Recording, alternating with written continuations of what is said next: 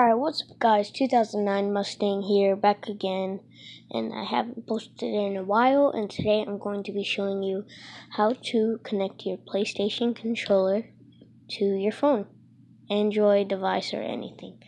Alright, let's get started. Oh, and I do want to give a shout out to Josh. Alright, so you want to turn on, um, on, to go to Bluetooth. Oh, wait, wait, wait, enough. So you're gonna hold this button and the share button. So you're gonna hold these down. And then you'll start to get this light. So once you get that, turn your Bluetooth on. And look, it's gonna say wireless controller. You're gonna click on that.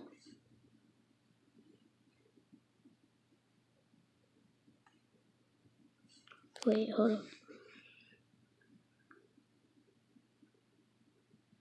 Look, and it's connected. Now it stopped blinking.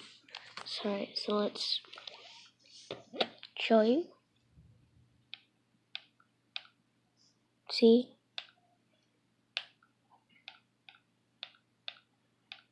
Alright, that's the tutorial how to connect your PlayStation controller to your phone for Android. Thank you. Make sure to like and subscribe and turn on post notifications.